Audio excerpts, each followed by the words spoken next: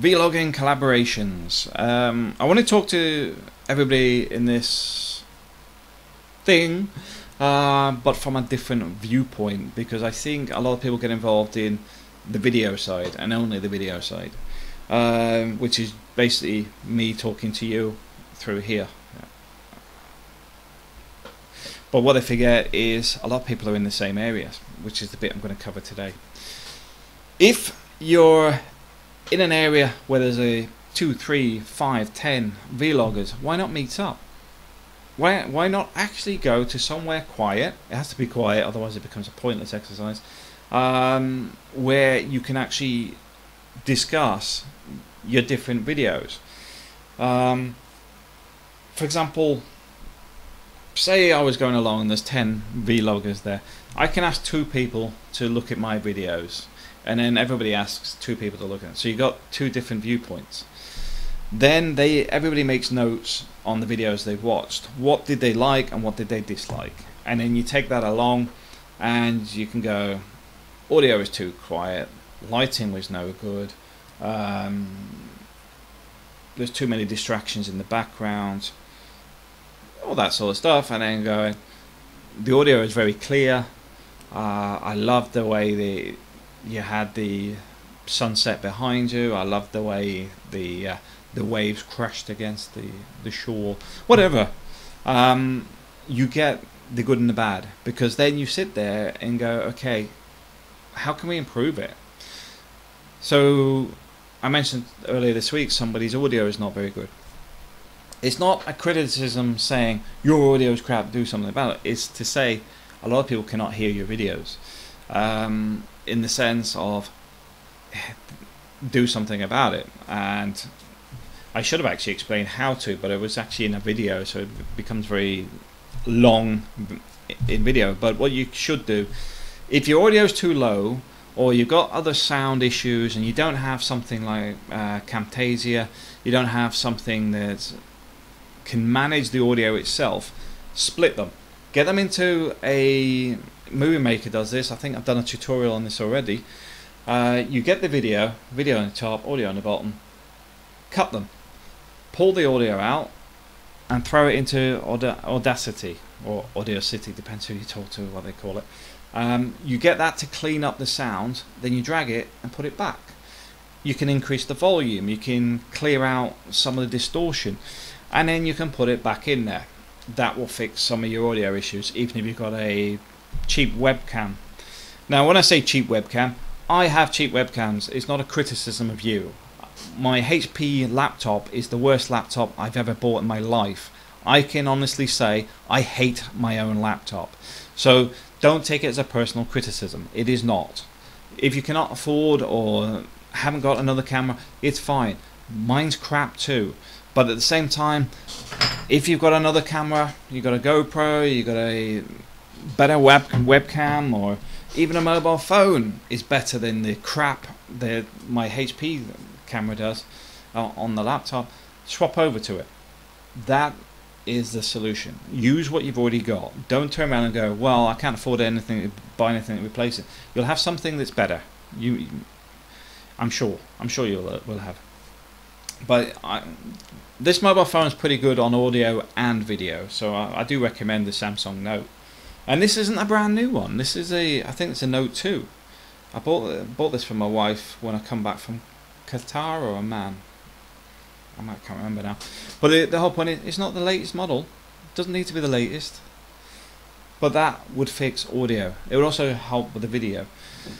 Also, if you get stuck, you know, people go, Matt, yours in your room. It's like, well, it's a, it's not my room. It's actually the the bedroom. Um, but the reason I struggle when I go out is like the last videos, you heard the waves and the wind. there is a lot of stuff that distorts my sound. Um, that's why I do a lot more indoors or in the van or whatever because of the issues with sound. Um, so I have I have issues as well.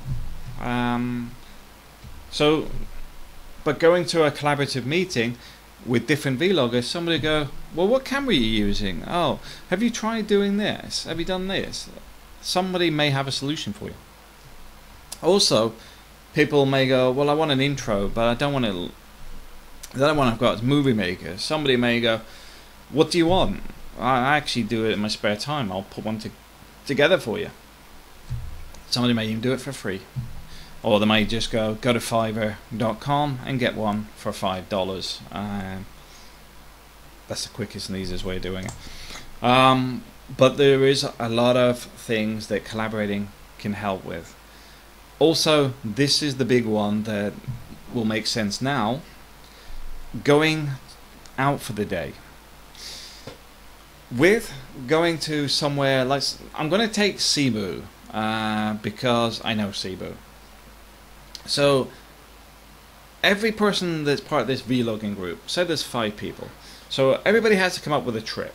And you have to decide, are you going to do a weekly trip or a monthly trip or a bi-weekly? Because it's all re- relevant on budgets, but I'm a key uh, supporter of not cutting people out because they don't have enough money. So if, for example, somebody couldn't afford to do it every week, I'll quite happily do it bi-weekly or monthly. I don't care. Um, because I'd rather everybody was part of it rather than going, well, you're too poor to be part of our group. I, am I'm, I'm against all that. It's it, it's not what we're about. It's not what I'm about anyway. Um, but anyway, so let's just say we're going to the Basilica for today. So I choose Basilica. Next week, Tom will choose somewhere else, or next month, Tom will choose somewhere else. So we go to Basilica, and we're all going. Different people, different channels.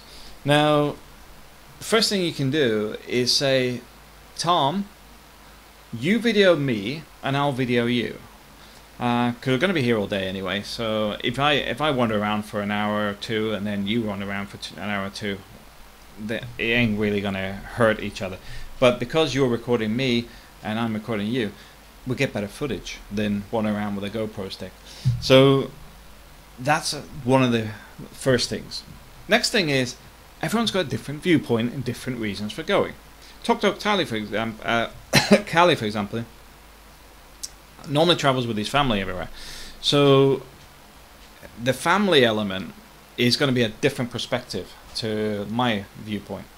So you've got that thing where it's very likely his family will want to run around, do the do the bits and pieces, then want to go and eat uh, because that's what everybody does in the Philippines or and then where you got me that's more interested in the history of it and when it was built and what they've done to it and modified it and etc and um, a bit more information on the actual location. Uh, not because Tok Tok's doing anything uh, different. Well, it's different because it's a different perspective. It's a family perspective where I know what it's like myself. Because when I go somewhere, the kids are constantly wanting to do something. You can't spend the same amount of time concentrating on the actual location. You've got all the the kids are the center of the attention, uh, center of attention, regardless of what you're doing. So I understand completely. But also, somebody else may actually do it from a different viewpoint. They may be doing it from a photography viewpoint, taking different interesting pictures and explaining what they're doing, etc. So you can have multiple people at the same location and all come back with different material that is all very, very interesting.